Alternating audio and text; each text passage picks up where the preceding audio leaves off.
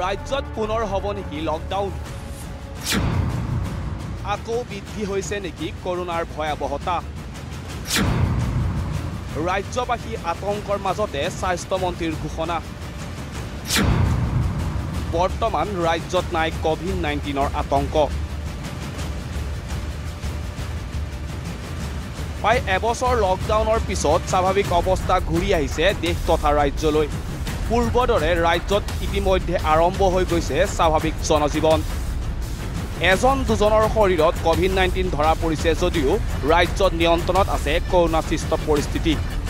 আৰু ইয়াৰ মাজতে শেহতীয়াভাৱে Don Bosco school holy child বিদ্যালয় আৰু মাৰিয়া স্কুলৰ কেইবাজনো অভিভাৱকৰ শৰীৰত কভিড নাইণ্টিন ধৰা পৰাৰ পিছতেই পুনৰ আতংকিত হৈ পৰিছে গুৱাহাটীৰ লগতে ৰাজ্যবাসী। ৰাজ্যবাসী এনে আতংকৰ মাজতে বুধবাৰে স্বাস্থ্যমন্ত্ৰী ডক্টৰ হিমন্ত বিশ্ব শৰ্মাৰ ঘোষণা।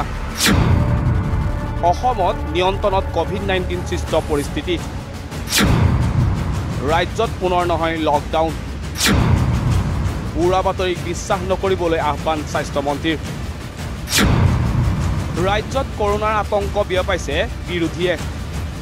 লৈ চিন্তাটো আজিৰ দিনটোত যথেষ্ট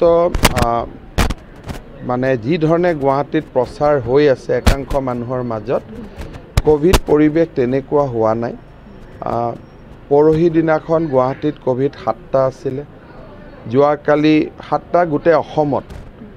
তাৰ আগৰ দিনাখন বাৰটা আছিলে কোনোবা দিনাখন বিছটা আমি আজিলৈকে বহুত দিন ধৰি পঁচিছৰ সংখ্যা এটা দিনত ক্ৰছ কৰা নাই।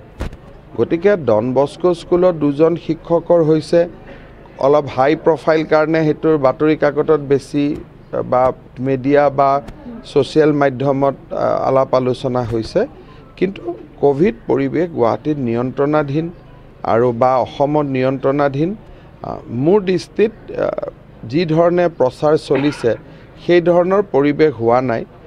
শেহতীয়াভাৱে ৰাজ্যত কৰোণাক লৈ যি পৰিস্থিতি সৃষ্টি হৈছে সেয়া বিৰোধী দলৰহে সৃষ্টি। কৰোণাক বিৰোধীয়ে ব্যৱহাৰ কৰি ৰাইজক আতংক কৰিব বিচাৰিছে। কৰোণাক লৈ ৰাজ্যবাসী পুনৰ উদ্বেগ হৈ থকাৰ সময়তে স্বাস্থ্যমন্ত্ৰীৰ এই অদ্ভুত মন্তব্য। কেৱল বিৰোধীক দোষ দিয়াত ব্যস্ত নাথাকি হিমন্ত বিশ্ব শৰ্মাৰ মন্তব্য।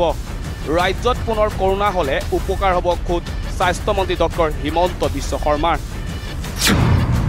কাৰণ প্ৰতিদিনে বাতৰি হেডলাইনত থাকিব পাৰিব হিমন্ত বিশ্ব শৰ্মা।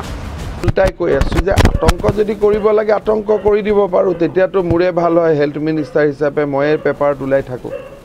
ওলোটাই বিৰোধীৰ অভিযোগ আছিল যে আমি ক'ভিড লৈ প্ৰচাৰ কৰি আছোঁ বুলি। তেওঁলোকৰ কথা শুনি ক'ভিডৰ কোৱা মই কথা বন্ধ কৰি দিলোঁ। এতিয়া আকৌ তেওঁলোকে কৈছে ক'ভিডৰ কথা কিয় নকয়। গতিকে একবাৰ ক্লিয়াৰ কৰি কৈ দিলে হ'ল যে ক'ভিড বুলি মই আতংক সৃষ্টি কৰিব লাগে। নে নৰ্মেলাইজ কৰি ৰাখিব লাগে?